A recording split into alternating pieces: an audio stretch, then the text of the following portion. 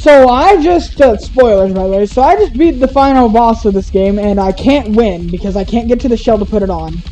I can't grapple it. I spent like an hour beating this boss and I can't get the shell. Thanks, this game is great. I love this game so much.